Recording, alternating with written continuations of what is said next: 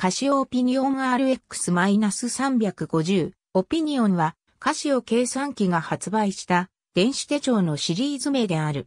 最初期の機種からタッチパネルとドットマトリクス液晶を採用し、本体を片手で持ちつつ専用のペンで操作できるスタイルを守り続けている。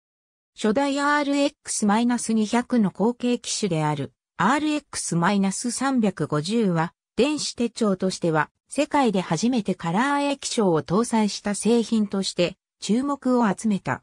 初期のシリーズと現行シリーズとの機能差やスペック差はほとんどなく、現在はシャープのザウルス同様 PDA に分類される場合もある。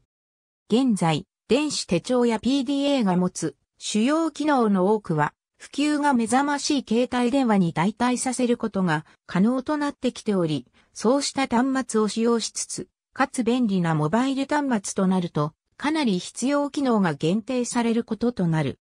仕様的に旧世代のオピニオンが現行商品として未だ販売され、受け入れられている背景には、PDA に高機能を求めるユーザーとは、対照的に携帯端末等の機能と重複する無駄な機能が少ない低価格な製品を望む声が多く、存在し得る実情がある。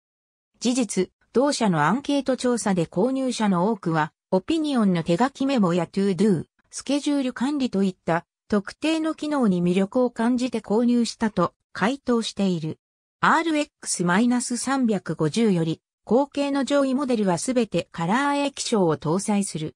カラー、モノクロともに12764ドットのマトリクス液晶を採用している。ただし、ゲームボーイカラーのような反射型液晶であり、バックライトは搭載されていない。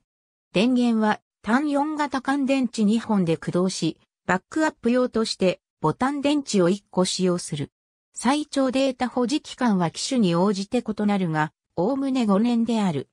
すべての機種で直感的な操作が行えることに重きを置いて設計されており、起動すると机上の画像が表示される。その上に描かれているメモ帳、本棚といった画像をペンでクリックすることで各機能が呼び出せるようになっている。文字入力はソフトウェアキーボードで行う。ありがとうございます。